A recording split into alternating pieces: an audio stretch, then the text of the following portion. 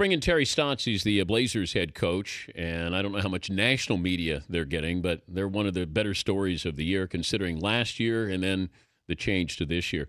But Terry, let me go back to London when I'm there for the Olympics and I see you. Do you remember you're in the hotel lobby running out the door? I only saw you for about nine seconds.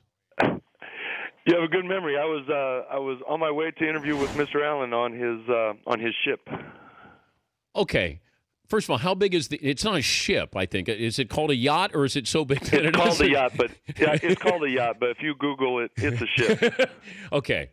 I see you in the in the lobby of the hotel, and you said, "I gotta go. I'm going for a job interview." And I'm thinking, is there a, an NBA team in, in London here? Like, wh- wh- who are you interviewing with? And then I realized that you you were interviewing for the Blazers job. So Paul Allen has his yacht there. What's it like when you walk on the yacht? Well, it's um, to be honest, it's beyond words. I mean, the, it is a ship. It's uh, I've never been on a, a private vessel as as big as that, obviously, but. Um, you know, it's uh, it was impressive. You know, it's got eight or eight or nine uh, floors, or I don't know if they call them floors. I don't think they call them floors on a ship. Uh, decks, but um, you know, it's. I got a tour of it afterwards. I was, uh, but I was much more concerned about the interview than the than the yacht at the time. But did you get the job that day? No, I didn't. Uh, you know, we I flew back after the after that interview, and uh, shortly thereafter, a decision was made. I'm looking at the yacht now. It's got two helicopters on it. Yes. It- I, I got two. It's big enough to have two helicopters land. well, Mr. Allen's a private person, so I don't want to go into too much detail. But the fact that the fact that you're able to look at it, that's good enough. Wow, wow, that's impressive. Uh, congrats on the start so far. What's the difference between this year and last year, in your opinion? Well, we have a we filled the needs that we uh, that we need that we had going into the season. You know, last year the, our core group of four players, uh, Damian, Wesley, Nick, and LaMarcus, all played very well. But um, you know, as Ben noted, we didn't have a lot of scoring off the bench.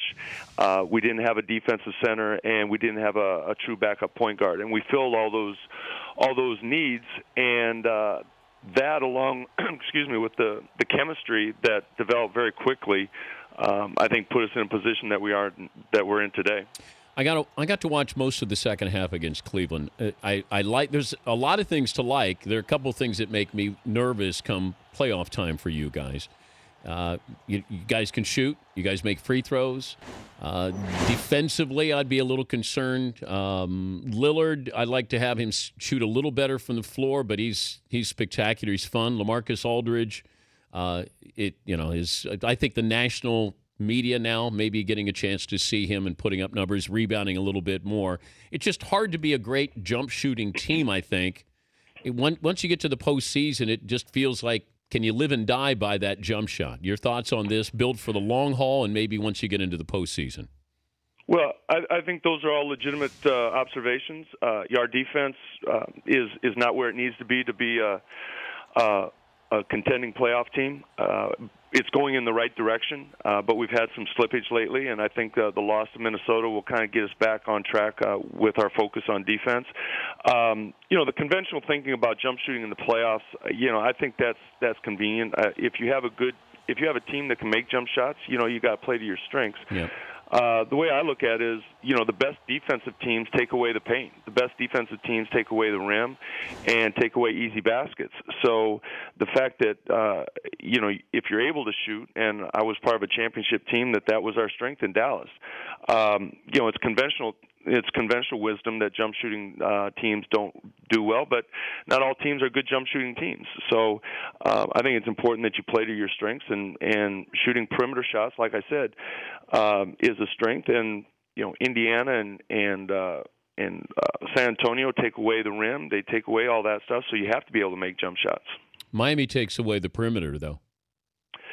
Well, let's worry about Miami when we get to the finals. You'll take that if you if it means getting to the uh, to the finals. Uh, where's your championship ring from uh, when you were with Dallas? It's at my house in a case. Do you ever bring it out to show the guys in Portland? No, uh, I had a replica made uh, a paperweight, uh, which is about weighs about two pounds, and it's about uh, three times the size. So the replica uh, paperweight sits on my desk, and that's a reminder. Did you play for George Karl? Yes, I did. I played for George for three seasons in Great Falls, Montana, for the Montana Golden Nuggets in 1980 to 83. What did you learn? What's one thing you took away that helped you as a coach? Well, I don't know. I don't know if it's just one thing. George, uh, you know, George is a terrific offensive coach. You know, in Seattle we had great defensive teams, but he's a he's a fantastic offensive coach. And probably the biggest thing from my mind is you let your players play offense. You give them freedom to play offense, to make make offensive play. You give them, uh, you you try and give them confidence and um, let them do what they do well. You went to high school in Indiana, didn't you? Yes, I did. Bloomington North. Did Bob Knight recruit you? Not really. That was uh, my senior year in high school. Was the year they went undefeated and won a national championship. So they recruited uh, six All Americans, and quite frankly, I wasn't good enough. did you ever uh, meet Coach Knight? Yes, I did. I, I went to his basketball camp. Uh, I met with him a few times. Uh, you know, as a 17 year old, I was very intimidated. Did he uh, yell at you? No, no, he didn't need to. you were scared already? Yeah, just uh, standing in front of him and, and having his eyes stare me down was enough. Uh, when we come to Portland in maybe April, I'm going to assume courtside seats. Sure. Is, it, is there a celebrity row there in Portland? Well, we have our local celebrities. Yeah, uh, I don't know. Uh, you know, we have Portlandia here, and uh, you know those are celebrities, but it's not the celebrity role that uh, you know of New York and uh, L.A. So we'll fit in. We'll fit in well there. Well, you'd be a hit here.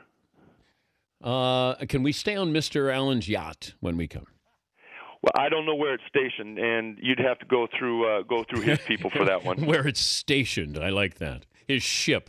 Well, congrats so far on the the great start, and uh, we're going to try to get out there in April. Uh, so hopefully we'll get out to see a game in person. Well, I look forward to seeing you. All right, Terry. Well, thank you. All right, thank you. All right, Terry Stotts, the uh, Blazers head coach. The Dan Patrick Show, weekday mornings on Audience.